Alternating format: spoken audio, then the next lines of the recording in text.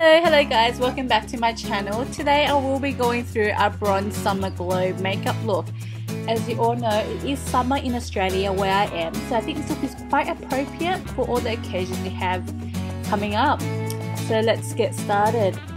I'm starting with a very fresh face as you can see and going on to start with moisturizer and primer. Um, I'm going to go through my skin routine quite fast just because I have covered it already and want to save a bit of time. Then going on to my all-time favorite foundation, MAC Face and Body. I like it because of its lightweight nature and its dewy finish. Especially in summer, you don't want anything looking too heavy and cakey on the skin. Once that's done, I'm just going on to Pro Longwear Concealer just to go over the problem areas that still need an extra bit of coverage. Just making sure I really blend that in so it's quite natural and not too obvious and then breaking out into a song mid makeover. That's just how I get ready in the morning. Now, as you all know, I do set my foundation with two powders, a lighter shade through the center of my face to bring some light to the face before going the darker shade around to help slim it down and give it a bit of dimension. Done the skin, I'm actually going to move on to my eyebrows. However, I have skipped this step just to save some time. You can find this in my other videos. I'm going to First apply a base on my eyelids. Here I'm using Groundwork paint pot. This will also hold into the eyeshadow a lot longer.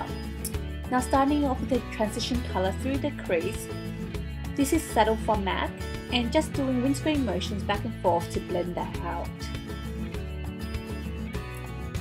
Next I'm moving on to all that glitters applying that with a 239 brush up to my crease and about 3 quarters of the way out leaving the outer section for this bronze color here and just blending that in and also applying it to the lower lash line.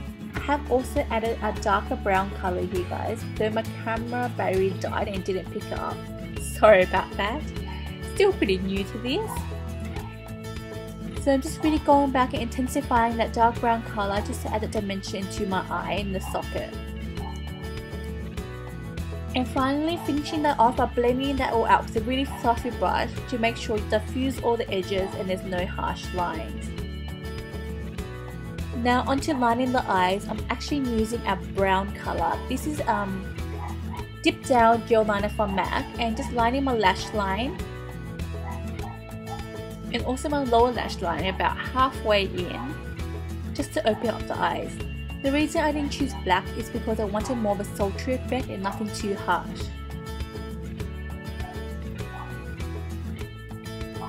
Now just adding a bit of a gold pigment, this color is tan, pigment from MAC, to center my eyes to really help open it up before going on and curling my lashes. Bumping that a few times before applying lots of my favorite mascara this is extended play mascara from MAC. I love its small ones because you can get right in there without getting too messy. And then of course you have to apply falsies. Well, I just love falsies. Going from top down as usual and pushing in the outside before pulling in the inside. This can get quite tricky so perhaps use your tweezers to assist you as well. And now your lashes are on! Moving on to the skin, I'm going back to conceal um, underneath my eyes and other areas just to also highlight it. So down the bridge of my nose, my forehead, my cupid's bow and my chin as usual. Before applying on Bright Forecast pen from MAC, this is a highlighting pen so will add even more light to these areas.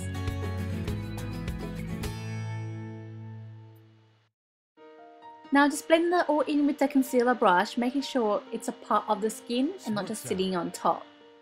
What you want is a highlight and not like a cakey residue. To seal that all off, I'm using Mineralized Skin Finish Powder in the shade Medium, which is about two shades lighter than myself. This will further highlight the areas that you want. And also it has a satin finish so it's not too mattifying it still lets the foundation seep through to allow that glow. Once that's all done, moving on to the magic of contouring. So here I'm using my Makeup Forever palette and using the darker shades to slim down all those areas that I want. That being my nose bridge, creating a 2 minute nose job and just DIY, do it yourself, who needs a nose job? So create two parallel strips to slim down the nose bridge, my nostrils too, and the cheekbones. So from the angle of the ear to the angle of the mouth, just to about where your eye hits, start shading in that area. Repeating to the other side and then moving on to your temples. And if you have a large forehead like myself, you can add a bit up there as well. Into your jawline. My face has gotten a lot rounder as I gained weight, so contouring is super important.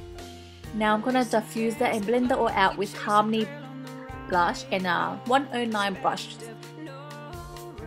to create a more of a shadowing effect rather than some tribal streaks on my face.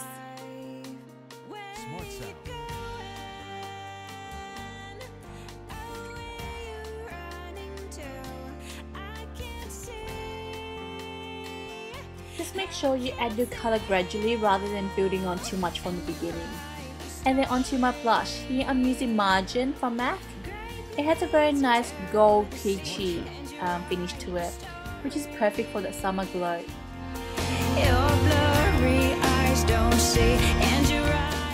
For even dewier and sun-kissed finish, I'm just adding a bit of highlighter on my cheekbones. This is Superb from MAC, which is a limited edition color. I don't think you can get it anymore unless they re-release it. Now going on to the final step, the lips. I'm just cleaning it up with a bit of concealer to create an even canvas and then lining my lips and filling that all in with Subculture Lip Pencil from MAC. I find it's one of the perfect nude shades.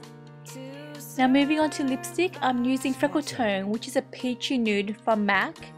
It is a cream sheen, it has a nice and glossy finish. And now the look is complete. It's perfect for any summer occasions you might have coming up. Hope you guys enjoyed this video. Please don't forget to rate, comment and subscribe. And I'll see you in the next video. See you guys! Okay, there's still more of me.